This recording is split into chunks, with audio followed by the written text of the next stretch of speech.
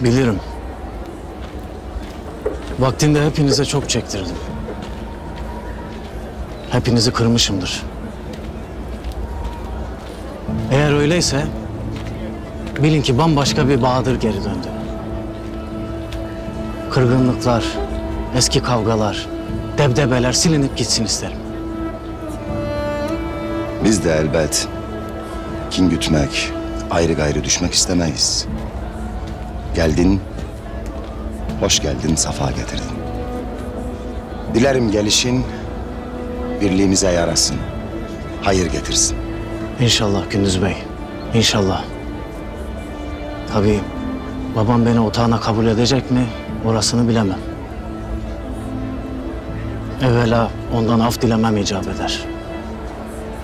İsterim ki sonra hep beraber iri olalım, diri olalım. Olalım elbet. Kaya elleri bir olunca demir dağlar eritmez mi? Düşmanı dize getirmez mi hiç? Dönmene sevindim. Böyle hoş sözlerle dönmene daha da sevindim Oğuz.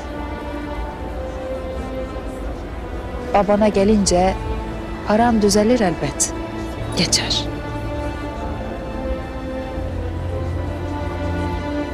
Düzelecek ya. Geçecek elbet. Batur ağabeyim gitti. Lakin şükür Rabbim bizi kolu kanadı kırık bırakmadı.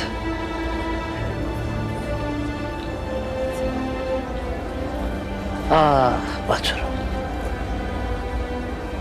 Yerin dolar mı yavrum?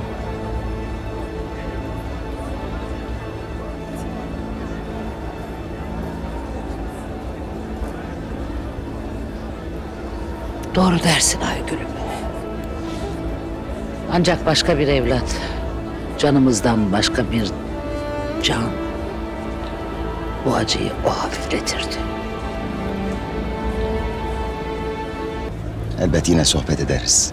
Eyvallah. Lakin evvela halletmem gereken işler vardır. Selcan yenge, sen pek güzel bulgur aşı yapardın. Unutmadım.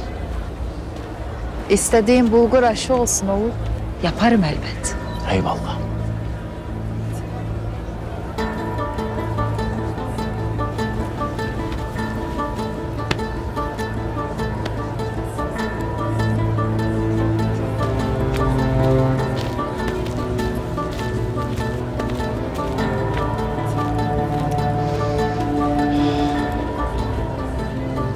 Hala ortalarda yok.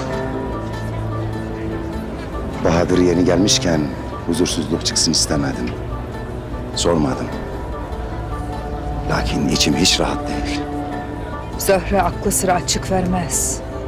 Lakin yalan dediğin bir gözü kör şeytan. Biz kör tarafına denk getireceğiz. Dündar Batur'un mezarına gitti mi gitmedi mi? Sen halledebildin mi oğul? Hallettim yengem. Bir alp gönderdim. Anlayacağız bakalım. Anlayalım evlat. Anlayalım da tepelerine çökelim. Gayrı bıktık içimizdeki düşmanlarla cenk etmekten. Artık.